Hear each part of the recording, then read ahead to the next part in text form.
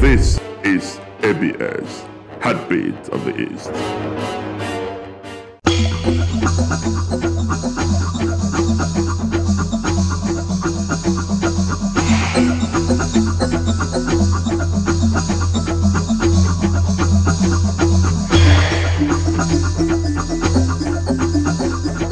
Welcome to the third edition of the XX exhibition brought to you by Awka Museum Foundation. This is a group exhibition which is tagged Repairs. Let's take you through the vibrant world of art, thereby exploring latest exhibition opportunities that are pushing boundaries and, of course, redefining creativity.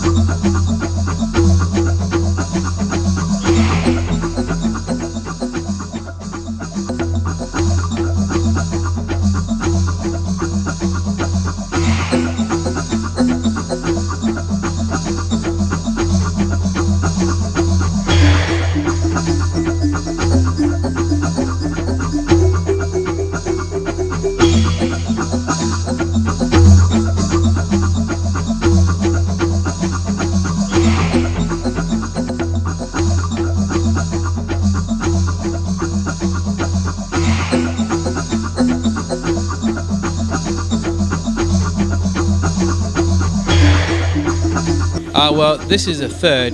It would have been the fourth, but uh, because of COVID, we omitted a year. Um, what you have here are a group of exceptional female artists.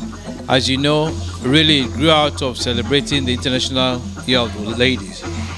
So we have it's already it's always an all-female cast, and from year to year it keeps getting better. So today, so far, I would say this has been the best of the third, the three. Well, uh, first of all, you, we need to know that uh, the woman is uh, uh, an art piece itself made by God, as distinct from the man, and that also has gone into their DNA. So, for us, we find out that the young ladies have found themselves being very artistic, and whether as uh, seamstresses, architects, painters, they've excelled and they keep excelling. And the good thing about it is that there is all there is this movement for you know a lot of ladies coming into the art space. Uh, I feel great. Like actually, this is my third time here. I've been at the first, I've been at the second, and I'm at the third currently. So uh, it's always a beautiful experience coming around here. Like you have artworks that appeal to you personally, that fascinates you, that you want to know what is behind the particular artwork. I'm, I'm really happy here today.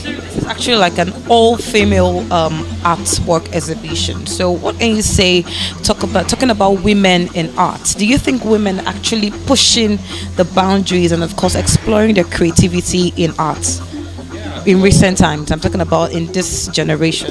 Okay, uh, talking about this generation, I think the most I've encountered here are young creatives and you know when you listen to them when you hear them talk explain their art to you you see that we still have hope for this generation because most times there are artworks you just see but you wouldn't know that there are you know encrypted messages that are inside these artworks. Is when you listen to these artists you know that there are depths to what their work really says than what just meets the eye. I think you know we still have hope for the generation when it comes to art like like an analysis of this painting. And looking at this painting for me i'm just seeing a young lady with a crown. For me i'm seeing a queen who is actually adoring herself. And i'm seeing this like a land. More like she's trying to you know occupy a certain place. But i'm not i'm not an art person so I can't really judge based on my analysis. So for you what can you analyze? This is uh, about the artworks here. This is like one of the artworks that appealed to me because same artist owns this and the one over there.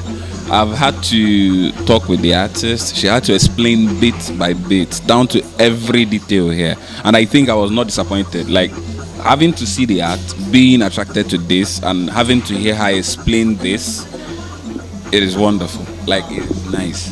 This is my artwork titled together we are one. This artwork is actually made from paper and paint.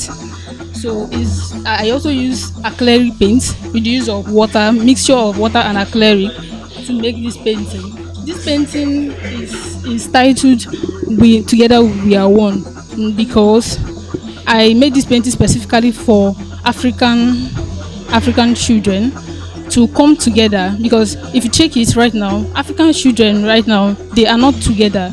Specifically like south africa nigeria um, some certain african countries. I make this painting for it's a, it's a series painting. Because from here from here to here from here to here.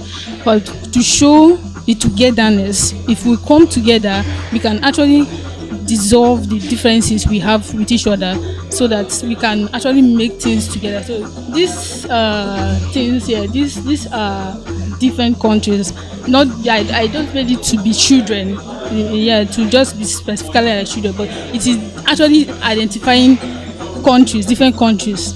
Like I said it's identifying South Africa Nigeria and all that just to show to repair you know the differences which African countries have with each other and the rest of it. So this is my work. Okay, this is um, a young lady that is probably have been blaming others for her problems and now decided to change it to narrative by fixing her problems herself. And then I try to show this lamp is, signifies inspiration light, inspiration. And as she's trying to stitch, she first started with divine connection. And here I'm trying to say that we should reconnect with our Maker. When you're trying to fix your problem, the first thing you should do is find out from God the templates of your life. When you discover your purpose in life, you actually know how to navigate and you know do what you want to do well. And that's what she first found out. And she's fixing the other areas of her life. And why doing this? There are some elements you should keep in place. Very, very important. Which is um, here praying, always keep connection with God, and give. Be a giver. Be a giver. Because they say, blessed is the hand that gives than the one that receives. So as you're trying to fix any challenge, be, be a giver. And be grateful. Have a gratitude mind, a gratitude spirit. For everything that you are passed to be grateful for. If it's life, health, these are little things that God gave you, and you should say thank you. So have a gratitude spirit while you're trying to fix yourself, and then be optimistic. Very, very important. You can't you can't come out of a challenge and you're thinking at the pa- about the past. You have to think about the target, the future. And these are the elements she has to put in place while fixing these challenges. And uh, if she's able to do this, eventually the result is this. I made it. Eventually she will make it. And she'll be a happy person. And then the trophy that she has been always aspiring to get, she will get it. And of course, the bag of money. so that's it. Blues, light greens, they signify calmness and peace, and also signify divinity. So this person is um, at the threshold. If you look at his expression, you know that he actually broke out of something. And I'm trying to say that there's this um, Bob Marley song that sings um, emancipate yourself from mental slavery. I love that side, so I use it to talk about this bed. Eman- everybody needs emancipation. Freedom first starts from the mind, and then eventually, if that bed, this could be that negativity, that um, whatever, it could, it, could, even be addiction, it could be whatever thing that held this person down. Once it's once you once you actually connect I, I usually talk about divinity a lot because it's it really goes a long way to work in someone's mind a spirit and soul. So the person is crying and praying out praying and crying aloud. So the first of all is at the right spot. Is doing the right thing. You get? So environment matters. You don't get you, you don't want to be out of um, a, a place and you're in that place. You want to be out you have to step, make, take a step out. So that encourages change. That is the colors peaceful calmness you need to be in a very quiet environment to think and to heal. So he's in a quiet environment in a place that even attracts divinity and the bed is out and then the freedom the chains are broken. This work is titled Better Together, and the title of this exhibition is Repairs.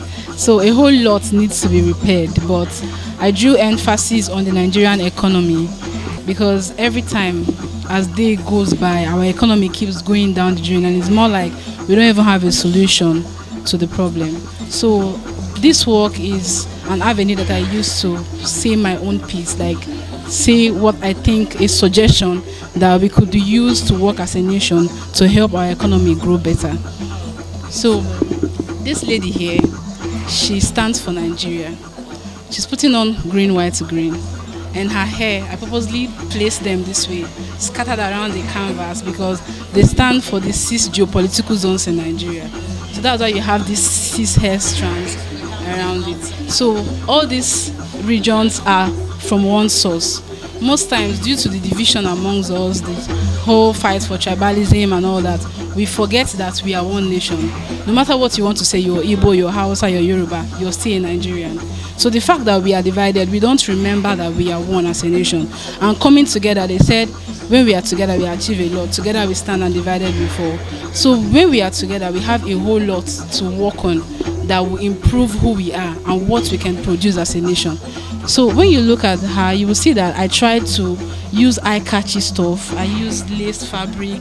I use I use um, this from jewelry exactly. So I wanted to actually show how rich we are as a nation. Nature, are natural resources that we are endowed with, but we have all this and we are not achieving so much. You see, people keep getting poorer by the day, finding it difficult to to feed themselves and their family. So this work, this note that is here, have a reason why they are placed in this way exactly. So on a normal day you cannot knit ni- ni- naira notes but it was the idea I got the best way to actually depict working on the notes due to the mediums that I work with. I'm a textile person. I love working with fabrics and most times I pour out my ideas with color presentations and all that. So you will see a whole lot of green on this fabric. Green stands for productivity. And I use these symbols here. These are in, Sim- Nsibidi ancient writing that we use to communicate in Africa. So and these symbols were selected because they talk about productivity, they talk, they talk about wealth, they talk about money. You understand? So the placement of this is a call for unity. When you look at this note, you're seeing the image of one person.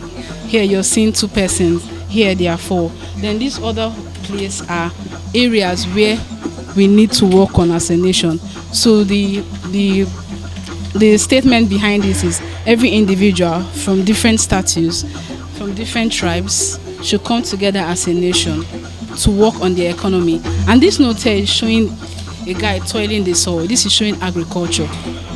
We, there are a whole lot of things that we can produce as a country. Different regions have different food, different things they can get soil from their land. So we need to go back to agriculture and look for a way to make Nigeria a country that work from production to final stage from bringing from refining the whole raw products if we are able to do that we will go a long way. Then this is showing art. This is ladi kwali where she's doing a pottery work exactly. So this is art. We are very rich in art. We have a lot of talented artists and a whole lot of crafts that we need to build as a nation. Then this note here is just showing yeah the 100 naira note is showing different cultures. The lady carrying something like calabash on her hair. So when I look at this note, it reminds me of Festac 77. So it was an event that was held here in Nigeria that exactly. So imagine the kind of money that was generated from that program. From flight tickets to hotel reservations and travels, feeding and all that. So if we are to go back to that event and see how we were able to get, how we our finances we, we got from there, you will see that there was progress. If this event is something that comes from time to time, that is a way of through tourism. That is a way of raising money for the nation. So this work is kind of taking our minds to different angles that we need to work on that will help. Nigeria is not only endowed with petroleum, so there are other things we can work with to grow the nation. Then I know you, you spoke about that this is the last time you, it's been long you saw this note. Okay. Um, I got this note from my dad. I still have a few of them. He saved them. So, yeah. so my idea about my works, I try to bring out some African stuff, history, put them together. Just like as I use Nsibidi designs. These are old, a lot of even young children don't know about them today. So I'm using my work to actually bring these things to their faces so that we will be aware of who we are.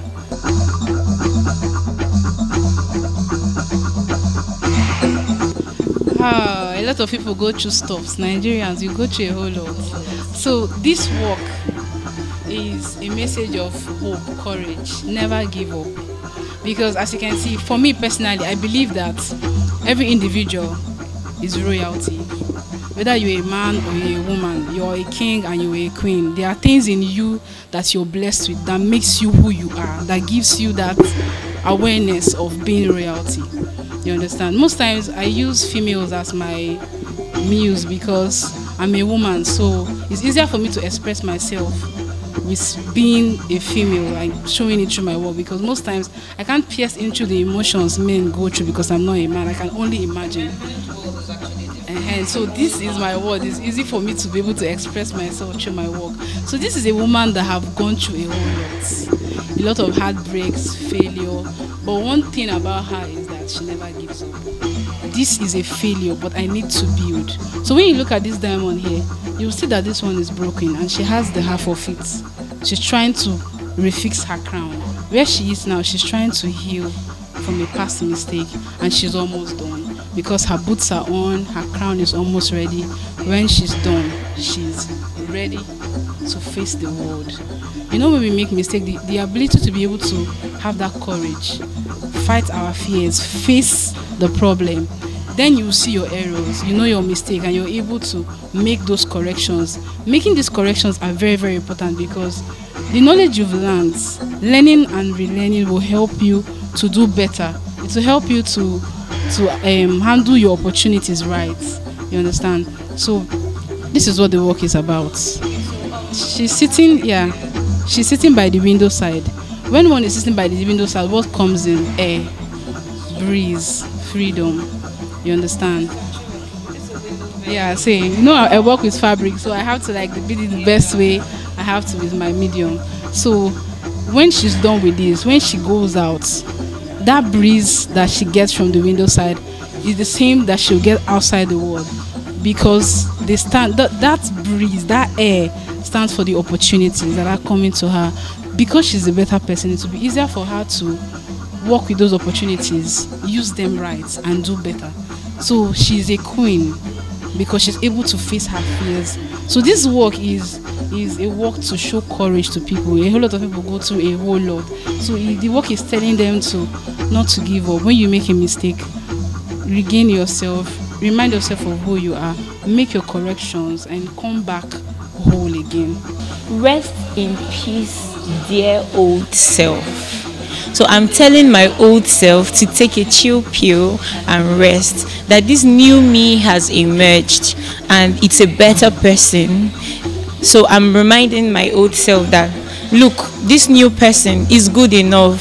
She's doing it. The things we planned together, I'm here now, I'm doing it. And uh, we're planning more. But I feel like it's time to let you go it's time you stay because most times when you hold on to your past it draws you back i've done the whole of the past the self-reflection the throwing back it's enough. You know we have to leave the past in the past so we can move on. It's okay to remember history the things that have happened in the but we can't keep living there.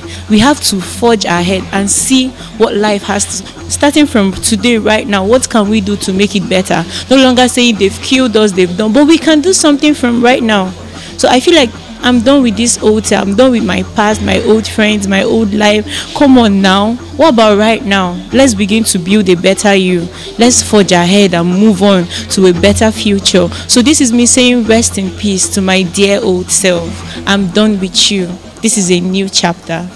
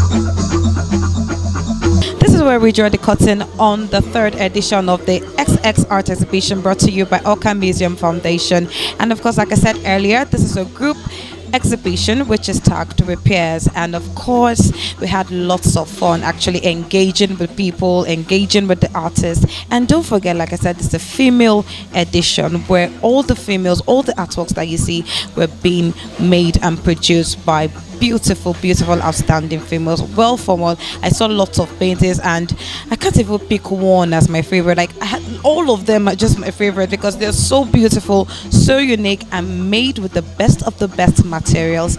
I am Ogenere Mogogome. Thanks for watching.